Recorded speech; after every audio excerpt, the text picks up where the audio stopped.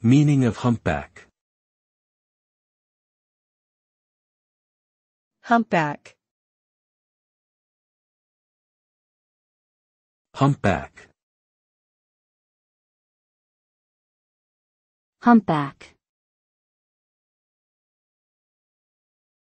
Humpback.